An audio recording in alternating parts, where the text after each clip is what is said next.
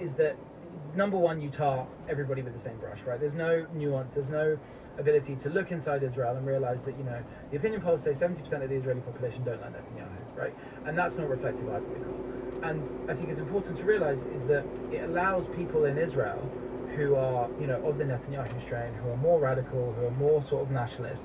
It allows them to paint this picture of no one likes us, we don't care. This Millwall thing, right? And and it, allow, it allows them to say, hey, it doesn't matter what we do. It doesn't matter that we're not, you know, that we don't feel that we have to listen to what the world says because the world doesn't like us. We're on our own, right? I think if you actually want peace, you actually want to get to a stage where, you know, two people can live in harmony and you know not be throwing rockets and, and terrorist attacks at each other. You need to find the elements of Israeli society that are more open to peace and, and encourage and support them instead of just boycotting all of them. And I would say that music, like in every other country, is a more liberal part of Israeli society. And to ignore that and to shun them and to push them away makes it seem like there's no benefit to them trying to be open to the world and trying to listen to what the world has to say. So, Jeffrey, the idea of a boycott is too blunt an instrument.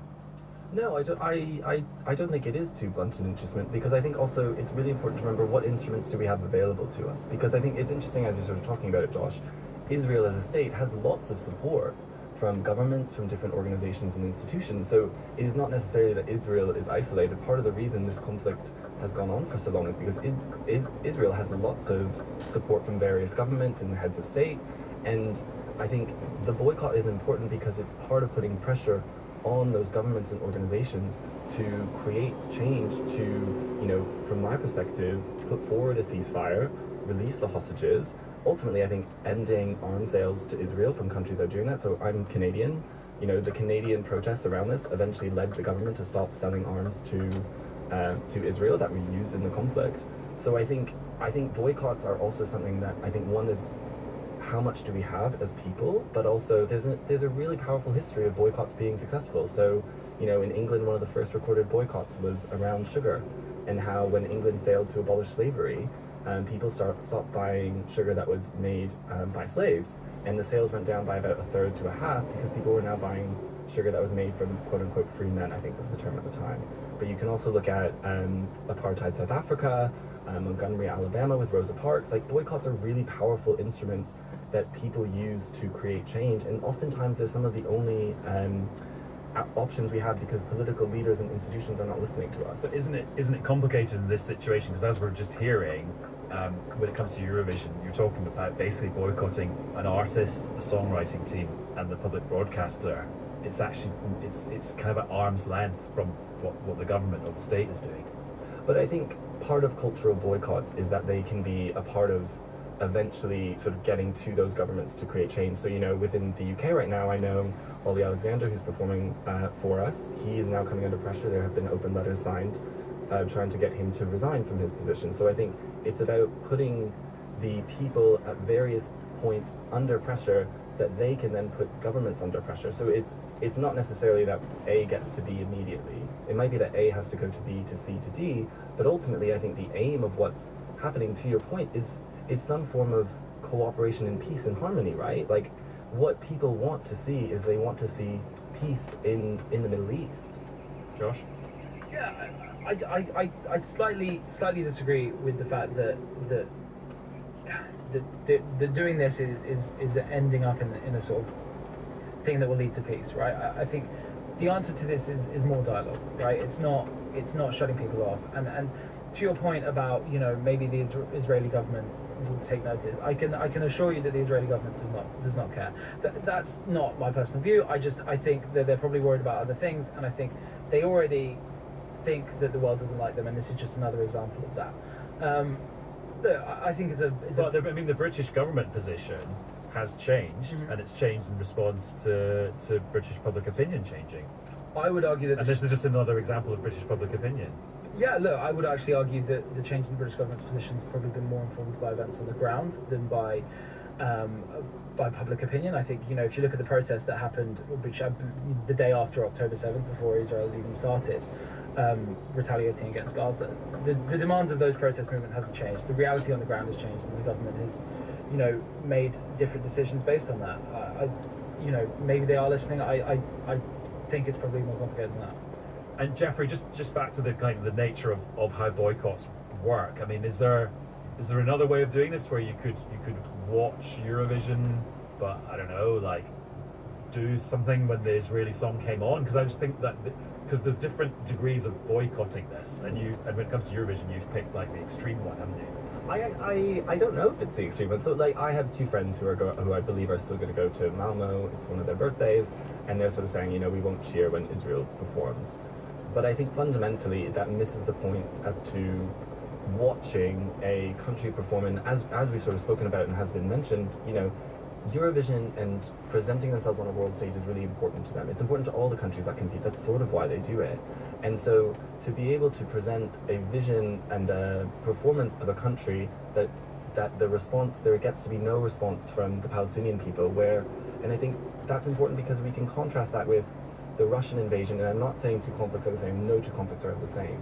But if we look at the way in which the Ukrainian people were able to be um, shown the, the amount of support that was given to their performers, but also, you know, there was a performance that I think Rebecca Ferguson did in last year's show, and it was sort of like how people took homes for U- Ukrainian people.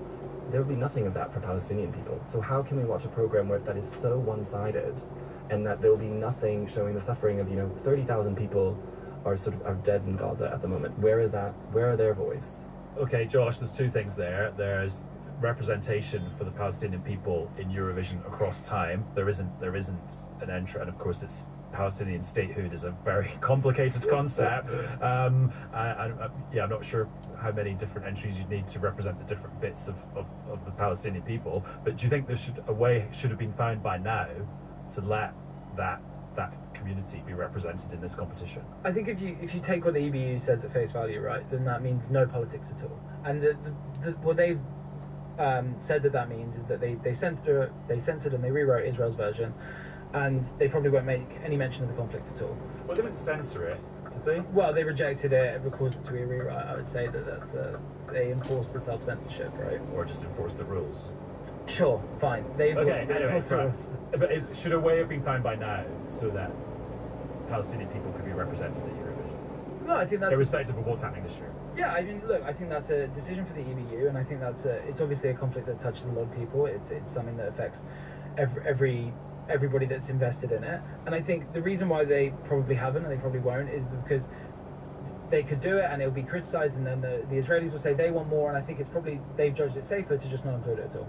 Okay, and is there a way that you raise the Song Contest, the actual shows, whether it's the semi-final or the final or the halftime show or the introduction, that they could reflect what's happening between Israel and Gaza in a way that, that, that you could live with, that everyone could live with, both sides could live with? Yeah, I'm sure that, that there's you know there's there's ample opportunities. I'm sure there's artists that would be more than happy to perform. I think that's a that's a question for them and whether they whether they want to. I mean, I, I personally would have no problem with that. Jeffrey, is there something the organisers of Eurovision could do that could assuage you, that wouldn't necessarily be kicking out Israel, but might be more reflecting the reality you see?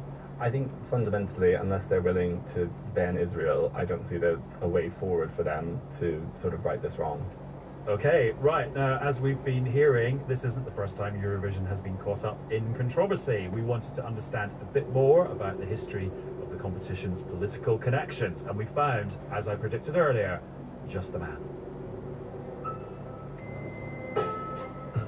My name is Dean Vuletic. I'm a historian of contemporary Europe, currently lecturing at the University of Luxembourg, and I'm the author of the book Post-War Europe and the Eurovision Song Contest. So, first of all, what political or geopolitical or economic or soft power benefits does a country get from being in Eurovision? Well, there are so many different advantages that countries have seen Eurovision as giving them throughout history. Uh, some sort of acceptance in the West European world.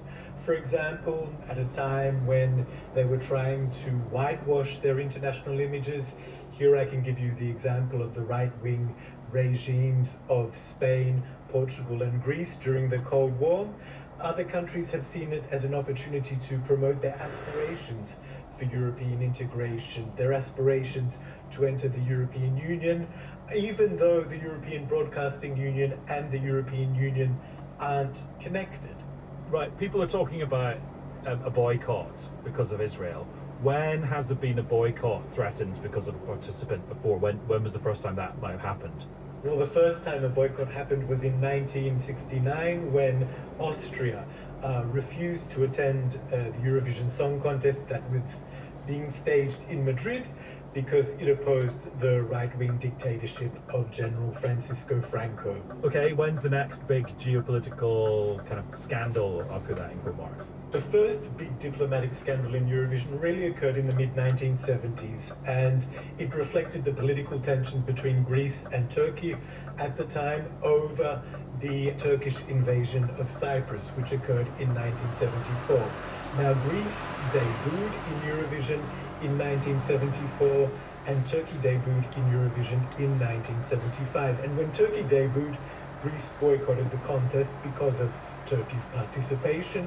And then in 1976, when Greece sent a song that commemorated the victims of the Turkish invasion, then Turkey boycotted Eurovision. So there we see really the first big diplomatic scandal and the first big uh, tit for tat boycotts in Eurovision occurring in the mid 1970s. Okay, so well that raises the prospect then of, of songs that were deemed to have political content. Where does that story go next? Well, funnily enough, in 1976, Turkish television wrote a letter to the European Broadcasting Union saying, look, the Greek song is political it has uh, political lyrics and it should therefore be banned from the contest. And the European Broadcasting Union wrote back and said there are actually no rules in the contest preventing songs with political lyrics from being performed. So Greece is allowed to go ahead and enter Eurovision with that song. Okay, and then that leads to the introduction of rules about political songs? Well, no. We had to wait until the year 2000 when such a rule, or let's say the seed of such rule, was really put into the rules of the Eurovision Song Contest. When a line was introduced saying that songs should not bring the contest